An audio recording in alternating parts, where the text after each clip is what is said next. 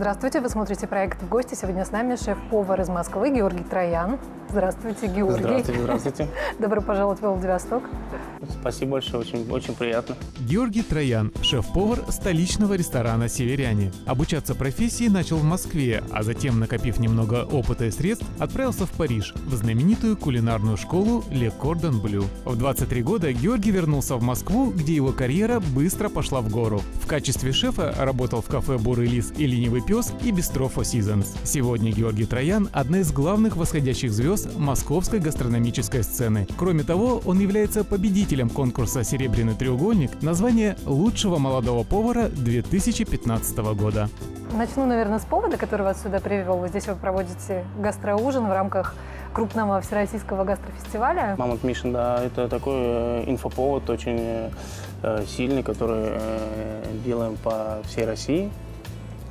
И вот я добрался до Владивостока. Всегда приятно ездить по городам, открывать для себя что-то новое и в поисках новых продуктов, а у вас их очень большое количество и хорошее качество. А вот с точки зрения гостей, вот такие в масштабах страны гастрофестиваля, они какие новые эмоции и ощущения могут принести посетителям заведения? Ну, во-первых, мне кажется, шеф-повар должен развивать гостя, да, и он помогает и настраивает на хороший положительный вкус и помогает узнать что-то новое. Что касается вашей профессиональной биографии, я с ней немного ознакомилась, она у вас такая достаточно не банальная. Начинали вы обучение в Москве, а потом отправились в Париж. Да, была Причем в одной из старейших школ кулинарных. Да, Ликордон Брю, да. Я туда поехал, когда мне был 21 год. И я был единственным русским в кулинарной академии, и было интересно. Ну, вообще, как бы, э, вс- вспоминать, сейчас э, как бы я с улыбкой вспоминаю, когда я приехал э, молодой и с такими амбициями, было, конечно, тяжело, но, э, как показывает практика, это принесли свои результаты. А что вами двигало? Почему именно такая траектория профессиональная была выбрана? Ну, потому что я не видел э, на тот период э, в Москве, э, во-первых, в России, как я понимаю, до сих пор э, проблема с э, профессиональным обучением поваров, да, и поэтому я э, накопил энное количество денег и решил попутешествовать, попробовать себя. Такой вызов самому себе. Те основы французской кухни, которые, безусловно, теперь вам знакомы, я так понимаю, что вы в какой-то степени интерпретируете и переносите на работу современной российской кухни.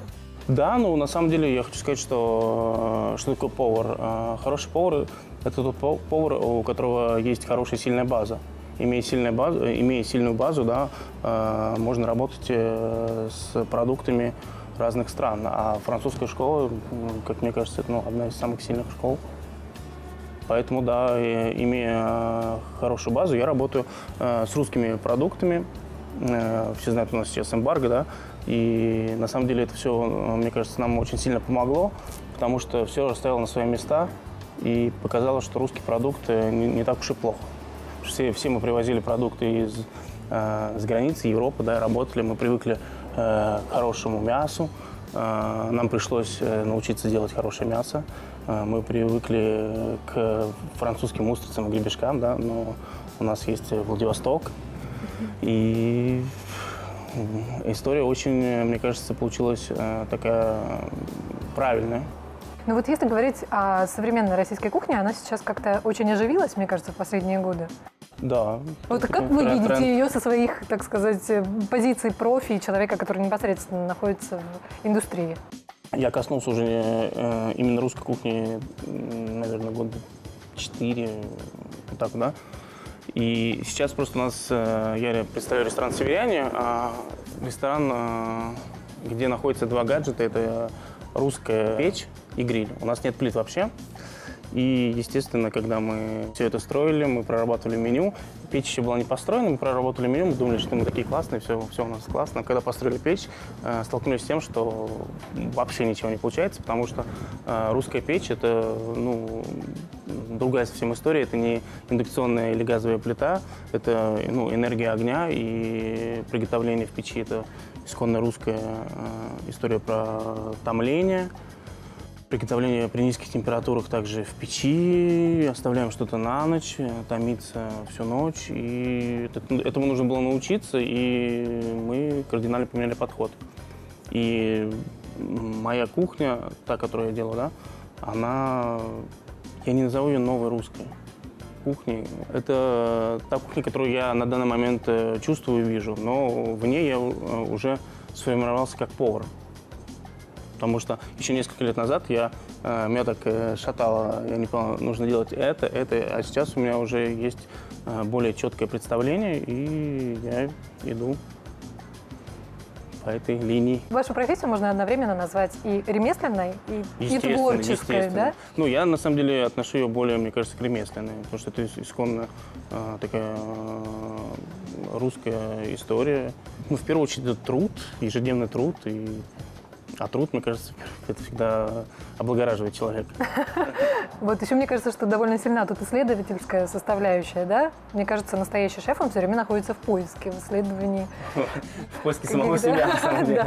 В поиске продуктов, в поиске самого себя, потому что это ежедневная работа, да, там по 12-14 часов, и это работа такой приоткрою занавес, это работа и психолога, работа и шефа, и помощника, и друга потому что у тебя, естественно, большая команда, и команде нужно иметь э, каждому своему повару нужно иметь свой подход. Э, на кого-то можно накричать, кого-то можно объяснить, э, кого-то нужно направить на путь поварской истины. Ну, поэтому ну, это такая ежедневная работа, больше, наверное, даже не физическая, а более, более стрессовая, потому что проснувшись, не успев, не успев дойти до работы, ты съездил на рынок, посмотрел продукт, пока ты едешь, тебе уже звонят закупщики, э, что есть какие-то проблемы с этим, с этим, с этим, ты понимаешь, что тебе нужно на сегодняшний день убрать э, позицию из меню, потому что у тебя не придет э, такой-то продукт, или заменить его. И, ну, это такой процесс, но это очень увлекательно. Как бы ты растешь с этой профессией, ты растешь сам, что немаловажно, в первую очередь для меня, да и для многих, мне кажется. У вас есть какой-то свой авторский рецепт, как избежать рутины, точнее ощущения рутины, как вот оставаться? А вот путешествовать, а вот путешествовать. Э, на самом деле в этом году я много путешествовал, я побывал в разных городах России, что мне очень приятно ездить по России, находить новые продукты. Все думают, опять же, что э, классное качество – это европейские продукты. Я не, не спорю. Естественно, я вот жил во Франции, часто бываю во Франции. Естественно, качество продуктов э, запредельное, но нам тоже есть чем ответить. И мы, мне кажется, через пару лет покажем чуть другой уровень. У нас развивается сельскохозяйственная часть, э, у нас есть хорошее мясо, морепродукты. Если говорить о продуктах, а возможно и о блюдах, которые могли, на ваш взгляд, являться бы сегодня лицом русской кухни. Ну, скажем, если вам нужно было бы вкусно накормить каких-то иностранных гостей, то ну, каков был бы ваш выбор? Мне кажется, когда э, приходят э, к нам да, иностранные гости, э, нужно показать, что такое русский вкус. Да? Русский вкус это на самом деле это кислое, соленое, горькое, и в сочетании всех этих э, вкусов ты создаешь какую-то палитру э, и даешь пробовать. Естественно, просто у нас в ресторане э, такой есть э, флешбэк из детства, потому что это русская печь. Э, когда попадаешь к нам в ресторан, у нас стоит сумасшедшая такая ароматика, как будто ты пришел домой к бабушке в деревню. И много блюд мы э, делаем именно для того, чтобы человек под корочкой вспомнил, что когда он был маленьким, он э, ел такую же картошку, которая запекается в печи, и очень много блюд построено именно так. В общем, играйте на чувстве ностальгии. Да, да, играем на чувствах. Забавно, что у меня не так давно был разговор с музыкантами российскими, и они сказали, что вот э, русские люди, они очень подвержены вообще чувству ностальгии, и порой даже в музыке это можно использовать конечно, как некий конечно. Ну, такой крючочек, чтобы зацепить аудиторию. А если говорить о предпочтениях э, гостей заведений, они каким-то образом подвержены моде или ну, есть некие тенденции, которые вам видны? Пришло такое время, что шеф-повар диктует моду, и гости приходят на шеф-повара. А, очень много открытых э, э, ресторанов с открытой кухней. У нас именно он такой, э, даже я назову нас гипероткрытый ресторан, потому что мы общаемся с гостями, к нам подходят к раздаче, мы рассказываем, я ухожу к гостям. И всегда приятно, когда к тебе подходит шеф-повар и объясняет, почему он это сделал, для чего. И как это правильно есть, потому что есть э, также э, правила каких-то элементов, которые нужно в первую очередь съедать, и потом идет последовательность. В общем, э, общение с гостем – это, мне кажется, на, дан- на данный момент э, один из важных факторов. Не нужно прятаться, как это делали раньше э, повара где-то в кухне, в углу, готовить это, отдавать. Когда говорили, что вас зовут в зал, э, все, повара прятались и не знали, что делать. Публика Нет, должна э, знать своих Да, и это не то, что история про, что я такой классный, вот. Это история про э, обратную связь и приятные эмоции. Ну, это, наверное, и есть э, некое построение ресторанной культуры, которая в нашей Конечно. стране зародилась не так давно. Да-да-да. И, собственно, вы вот один из э, свидетелей того, как это все Ну. шаг за шагом. Ну, какую моду вы диктуете своим Ой, да, гостям? все уже наигрались псевдомолекулярную кухню, да. Вот я, допустим, себя нашел в том, что э, гость, который приходит к нам в ресторан, он получает блюдо, и мне кажется, что понятно, что эстетически оно должно выглядеть э, красиво, да, но в первую очередь это вкус, и э, глядя в тарелку, гость должен понимать, что он ест, чтобы было меньше вопросов и какого-то страха. Потому что человек пришел отдыхать, человек пришел после работы, уставший, и он не хочет разбираться, что здесь 25 текстур, и как ему это есть, и думать. Он хочет прийти и получить удовольствие и отдохнуть. Что тоже э, об этом нужно в первую очередь думать. Потому что э, вообще ну, процесс кухни, он не замыкается на самой кухне. Всегда нужно прогрессировать и думать, как э, помочь гостю и донести до него то, что ты задумал. Потому что напридумывать, опять же, ми- миллион всего и думать, что я классная, а тебе будут говорить, что это невкусно, я так вижу, это тоже неправильно. А что касается, ну вот стратегии, что ли, развития заведения, ведь есть ресторанные проекты, которые возникают, существуют некое количество лет, теряют свою какую-то свежесть, актуальность, закрываются, открываются новые, да? Ну и в то же время там европейская традиция показывает нам там маленькие семейные заведения, которые могут существовать десятилетиями, в которых сохраняются именно традиции. Вот вы в этом смысле ну, скажем, в идеале, да, я не говорю о, там, о реалиях, они всегда вносят свои коррективы, но в идеале вы сторонник какой, как- какого способа существования? Просто э, ну, в России есть такая проблема, да. В Европе человек, э, который шеф-повар, который открыл э, ресторан, э, в основном все совладельцы это шеф-повара в Европе, да. Да, кстати. И история про то, что очень много ресторанов, где шеф-повар 15, 20, 25, 30 лет работает и даже не думает, что ему нужно поменять ресторан, потому что это его ресторан, и он так видит, он так живет. А в России очень любят прыгать с места на место. В первую очередь, мне кажется, человек, который в этой индустрии, он должен видеть наперед, для чего он это все делает. Вот, и есть цели и задачи, чтобы идти шаг за шагом. И понятно, что есть какие-то искушения, да. Только так ты можешь развить самого себя. Естественно, хочется открывать новые проекты. Не для того, чтобы себе что-то доказывать, а для того, чтобы э, найти какой-то внутренний баланс. У тебя есть силы, у тебя есть возможность еще э, попробовать себя в чем-то. Поэтому и возникают э, новые проекты, а, именно уже, наверное, даже с какой-то другой э, кухни, чтобы чему-то научиться и попробовать себя в новом.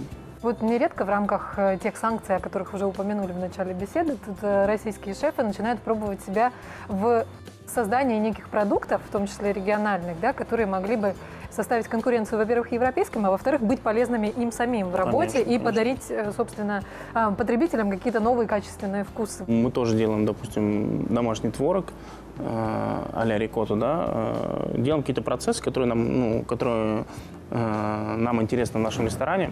Просто эта история, на самом деле, э, почему русский продукт, Э, потому что есть сезонность. Э, сезонность э, всегда полезна, да, когда идет сезон, ты используешь продукт, у тебя, у тебя больше витаминов, больше вкуса насыщенного, правильно?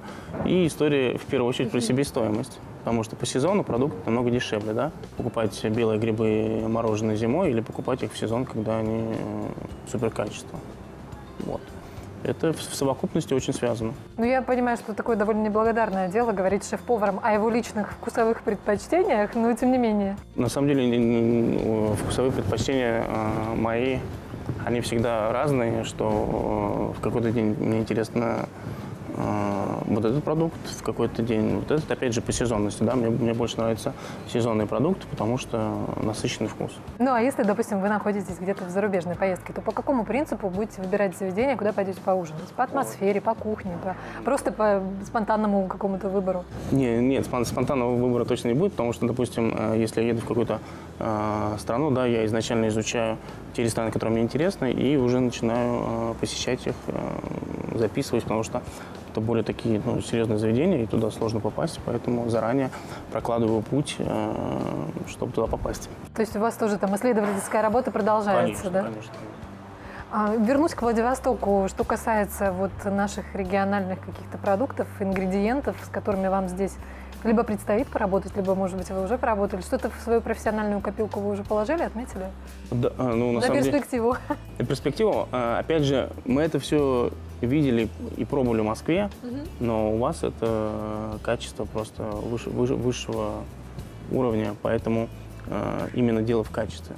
Мы все пробовали и морских ежей, э, и гребешок, и просто когда эм, ты приплываешь на берег, и тебе вот прям до- достают, э, и ты пробуешь э, в другом это формате, то, естественно, вкус совсем ино- иной. Наверное, последний мой вопрос. Есть такая общеизвестная формула, что сначала в любой профессии, пожалуй, сначала ты работаешь на имя, потом имя работает на тебя. Вот что касается вашей карьеры и вашей профессии, вы уже почувствовали вот этот переход этой грани, когда уже имя начинает работать? На самом деле На ничего не чувствовал и э, думаю, что ничего не почувствую, потому что э, как только ты начинаешь э, об этом задумываться, мне кажется, это шаг такой назад, и всегда нужно работать. Всегда нужно развиваться, всегда нужно путешествовать, всегда нужно э, смотреть э, вперед и изучать какие-то ну, этапы, процессы. И найти самого себя внутри, чтобы был баланс. Хорошо, Георгий, успехов вам в этом непрерывном поиске. Спасибо, Спасибо что вам огромное. заглянули Спасибо. в гости на разговор. Спасибо. Спасибо большое.